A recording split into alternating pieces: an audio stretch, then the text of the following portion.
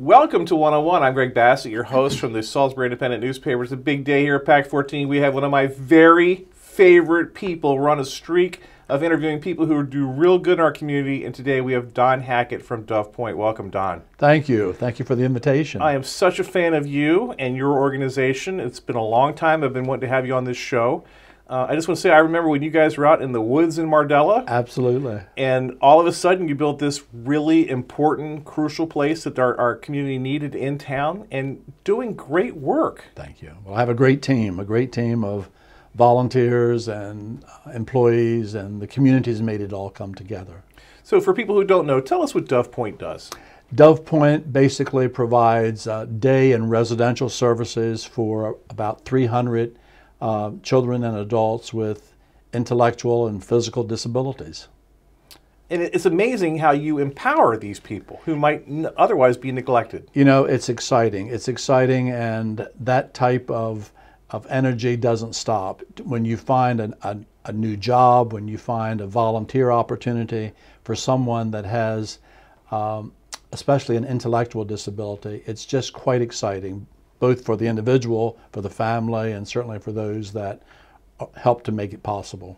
So 300 people in there every day. You have a lot of stories that you can tell about people who've been affected. We do have a lot of stories, and again, that 300, they're not all there because many of them, of course, are um, at employers here in the uh, local area.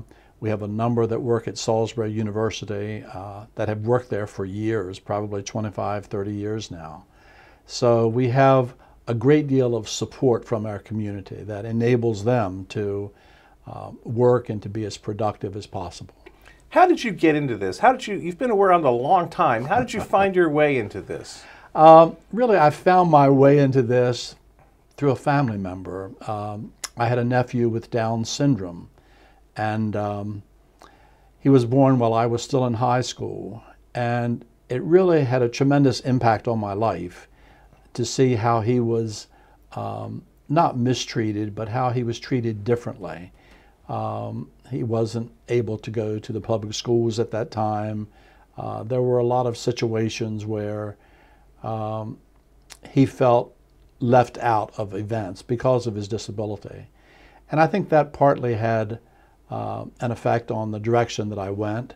Uh, as an undergraduate, I was um, majoring in instrumental music, and uh, enjoyed teaching special ed.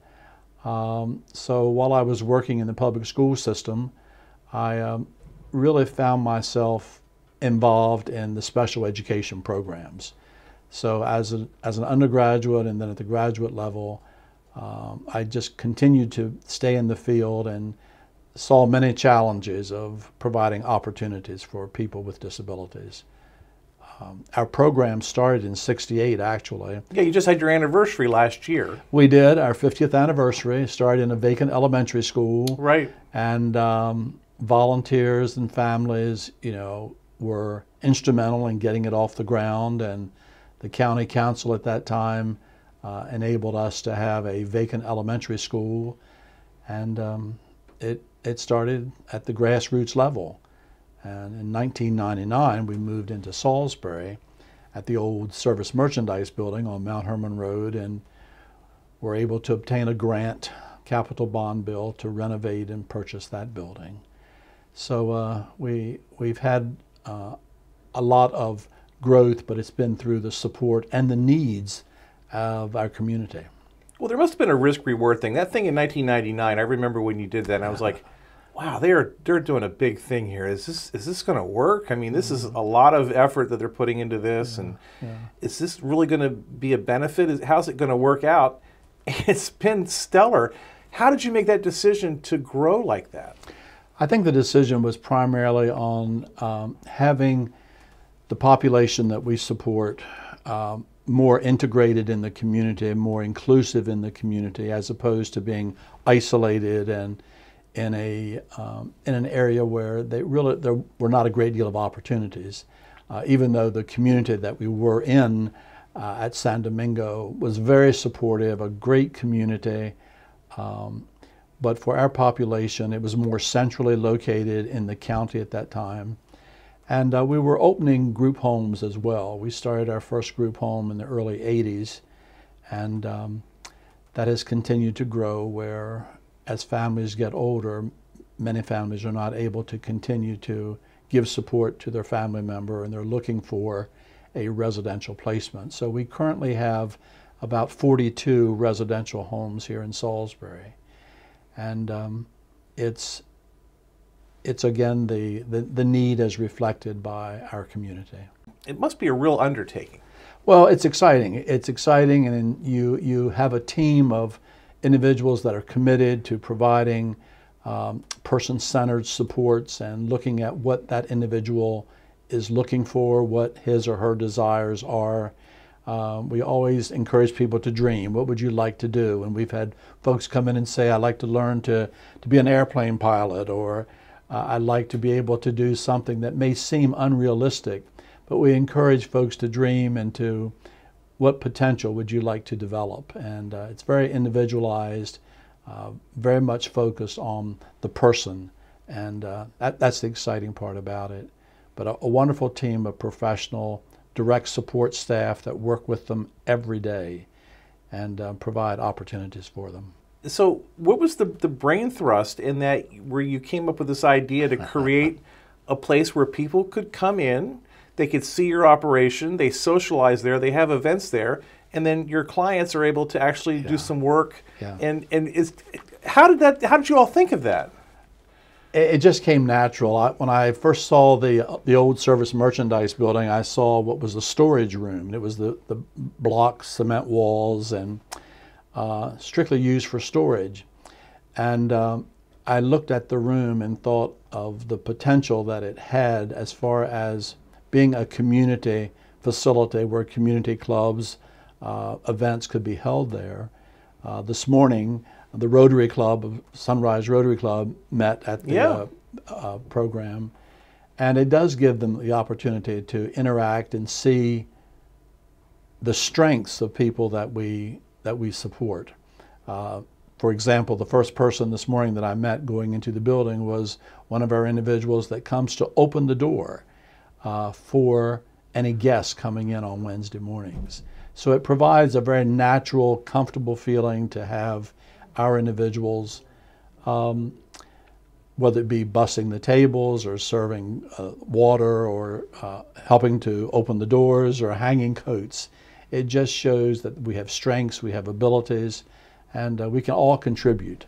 And that's the exciting part about it. And it's intimidating to be around people who aren't like us, but you interact with them and they're people. Absolutely. It's you, so you, helpful. It's a very natural interaction. It's not anything that you're forced or made.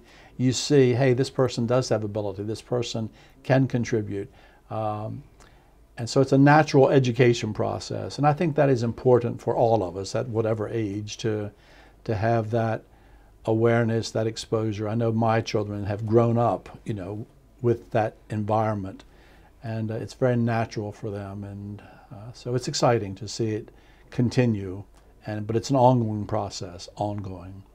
Um, we've had some residential homes to open and um, maybe a neighbor that doesn't fully understand. Isn't it amazing? Yeah. Yeah, you know, they come over and they'll ask questions, and and we have a responsibility certainly to educate and to know what the level of of support is, and they may walk differently, they may be speaking differently, but we're all in this journey together. And, uh, but it's exciting to see the progress that has occurred in our community. You're so patient. How did you come about this? You know, I, I will have to go back to I gave a message this past Sunday at, at our local church, and one of the individuals that influenced my life the most was my Down syndrome individual that I mentioned.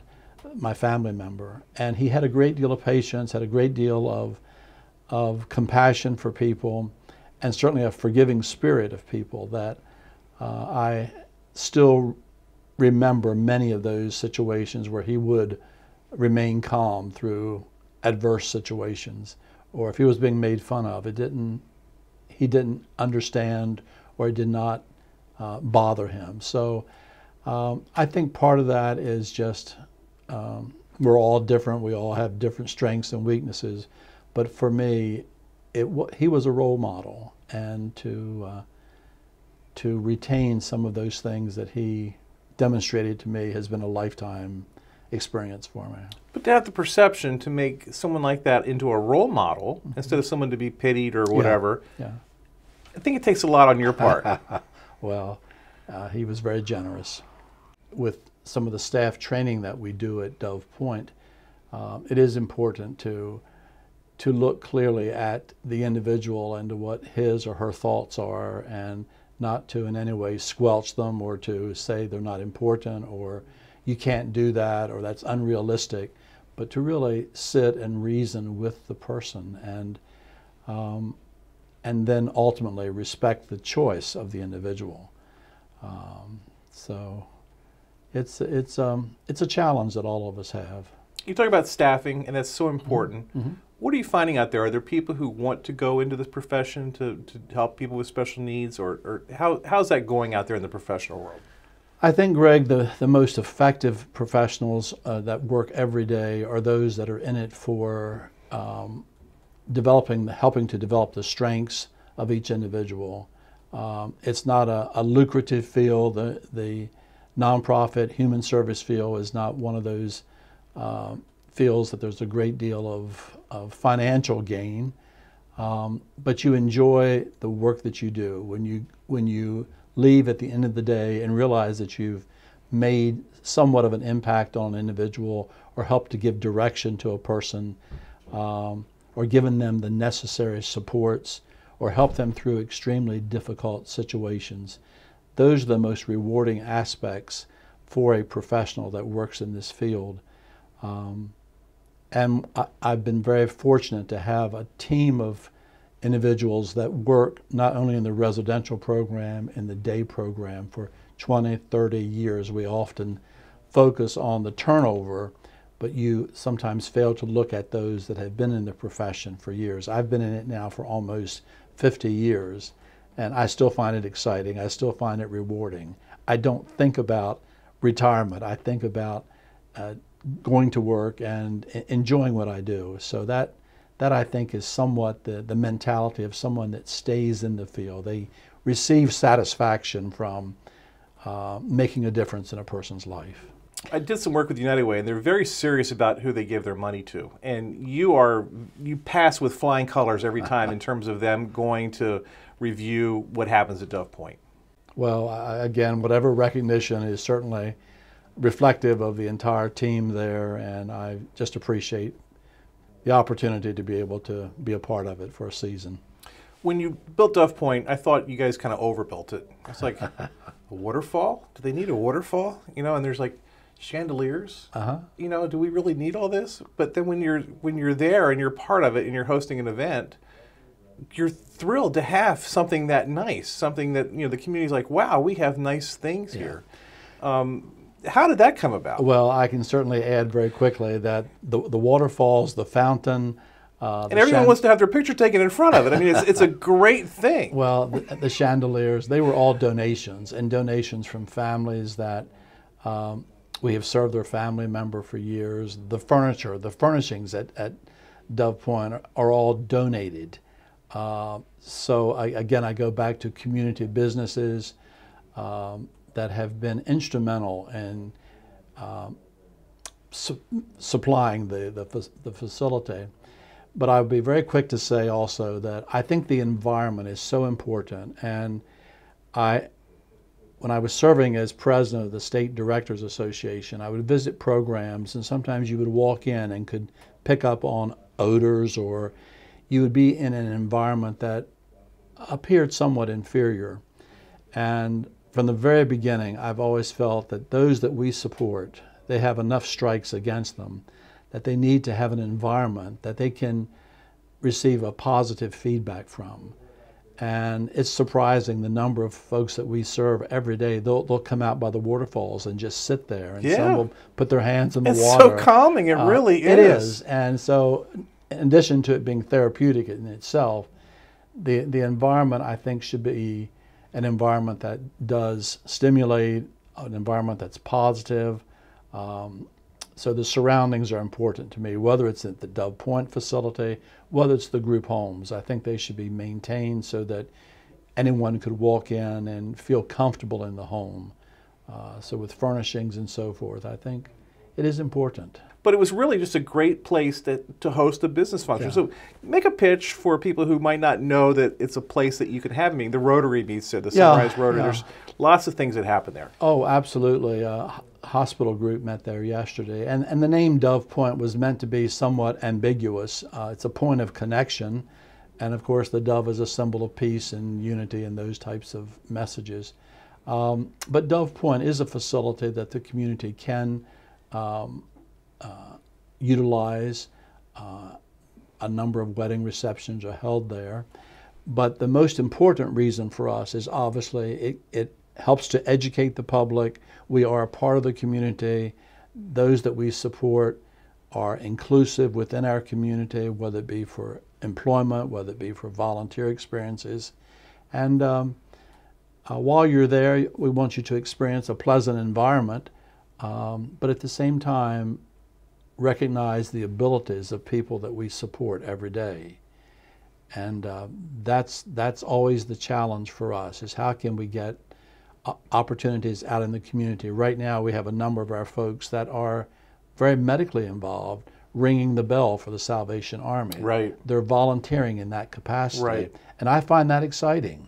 We just recently, um, probably during the summer months, it started. We have a work uh, or a volunteer group that go in the downtown area, and I think Mayor Day announced that it was the uh, downtown doves. The doves. It's, it's an amazing. I get out there, I see them, and I start to tear up because they are totally into what they're doing. Yeah, yeah, they very much are, and uh, they're volunteering. And um, it was announced at, at the Rotary meeting that I'm in how much one of the businesses really appreciated them coming in, and I think they offered them coffee or something of that nature.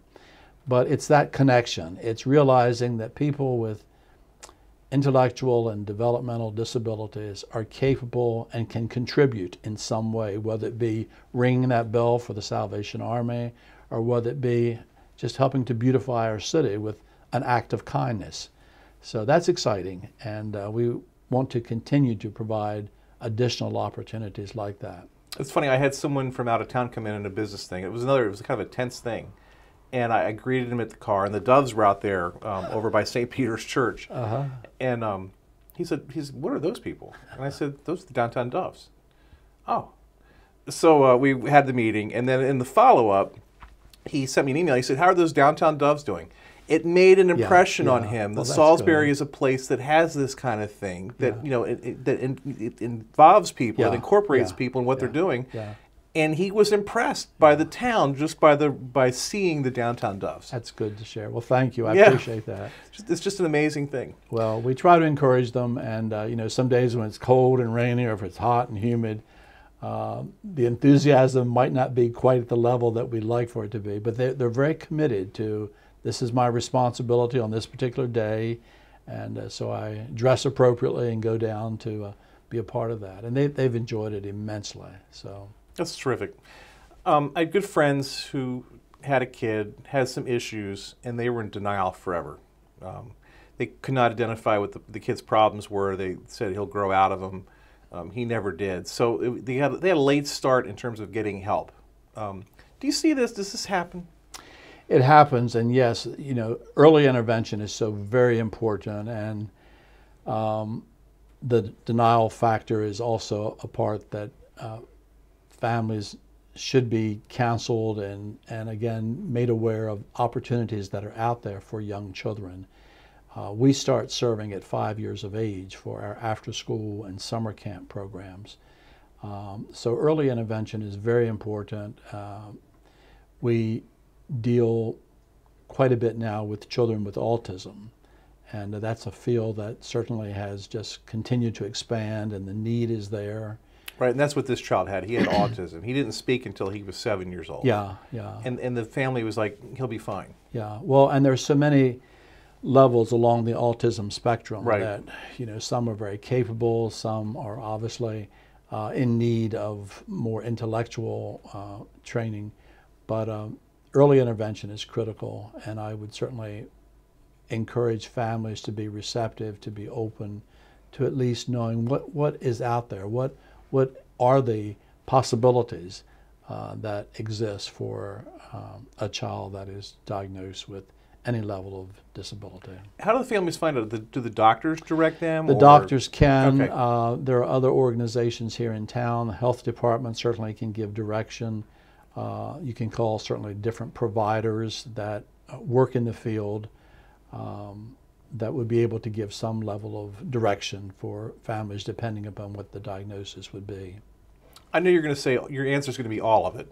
Um, but what's a good day for, for Don Hackett? Is it you get a big donation, uh, you get a, a, a kid placed right, you have a great event uh, at your venue? What's a what's a good a great day for you? Well, I think you've hit on all of them. Uh, and you mentioned that. It's ironic. This morning I had um, uh, actually um, our district governor uh, come in and present me with a check, uh, quite a surprise. Uh, and he said he and his wife just wanted to do this. Um, and he's had a long history with the organization, doesn't have any children involved in our program. But it's again that, that public support that is so important when they realize the impact that you're trying to make. And uh, it's an ongoing, ongoing challenge.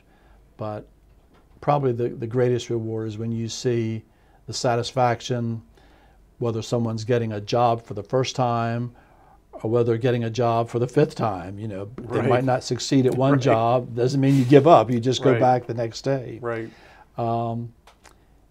And I think realizing that, again, the community is being receptive to people, giving them the opportunity. We just had six of our individuals employed at a local business that we're going to be recognizing shortly.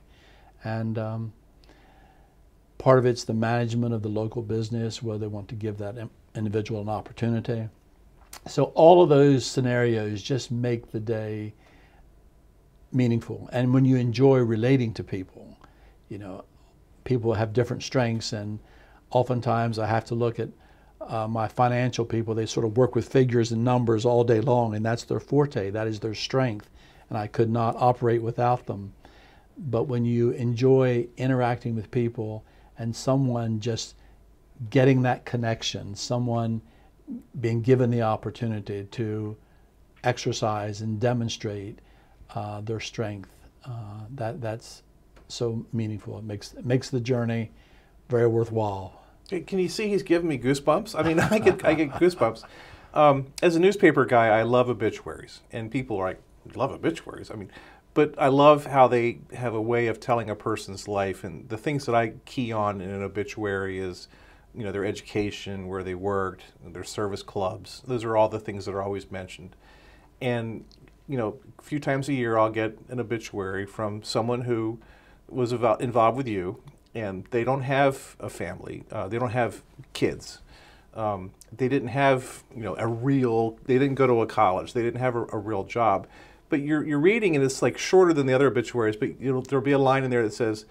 They worked at Dove Pointe for 20 years, you know, and they were they were beloved by everyone they worked with at Dove Pointe, and it, it really it really moves me because this is someone who might have been forgotten, but they got in, very involved in something. Mm-hmm. They have an obituary in the newspaper, and they made a difference for somebody. Mm-hmm. They're going to be mm-hmm. remembered for their service Yeah.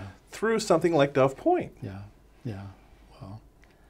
I haven't written my obituary, so uh, I'm not I'm not thinking about that. And that's a surprise question. Yeah, but it just it fascinates Yeah, me yeah. that these people become involved enough that they do make an impact. Yeah. And you guys allow them that opportunity. Life is all about opportunities, and you give an opportunity to people who might not normally get it. Yeah.